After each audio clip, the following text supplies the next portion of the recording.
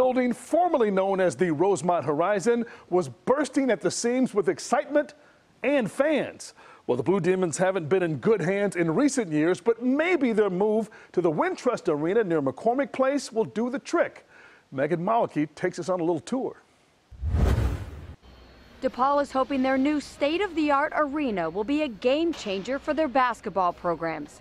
After playing 37 years in Rosemont, they'll finally hit the hard court in the city this November. It's been a long time coming. You know, I said we've been talking about being part of building a building at DePaul for basketball for 40 years, and, and we're finally here. So it's been it's been terrific. The big thing for us, uh, and, and coming back downtown, is having our fans, our students, more than anything, be a part of that. Combine that with the newness and everybody being excited gives the adrenaline that you mentioned. You know, it's what home court advantages are supposed to be about.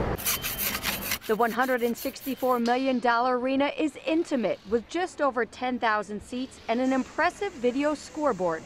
The men's team will have 17 home games, the women's team about eight games. Everybody likes to say when they build this building that every seat is a great seat in the house, but really, truly, when you walk in there, every seat's a great seat. Paul is hoping more students come to games now since the red and green line are just a few blocks away. Of course, winning will make a difference with attendance as well. And head coach Dave Leitao says this new arena is already helping out with recruiting. It definitely has had uh, an uptick in our recruiting from result, and I think it will continue once we get into building. In the South Loop, Megan Mawicke, CBS 2 News.